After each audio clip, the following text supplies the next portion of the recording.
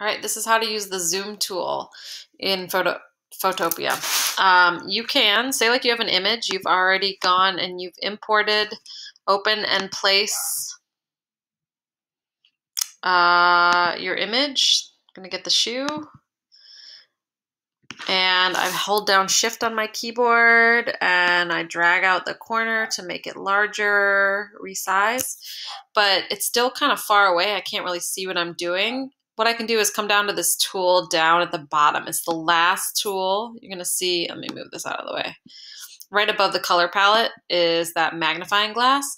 And you'll see there's like, it looks like a magnifying glass with a plus sign. If I just click down on my screen, it's going to zoom into my um, workspace. And if I want to zoom out, I just come up to the top here, click on the minus button, and then click on my workspace and it will zoom back out. Okay, so this is how you can get in here and do real fine details. So like for instance, if you were using your uh, lasso tool, you would be able to then see how close you were to the shoe to be able to get that detail um, and make real fine tuned edits.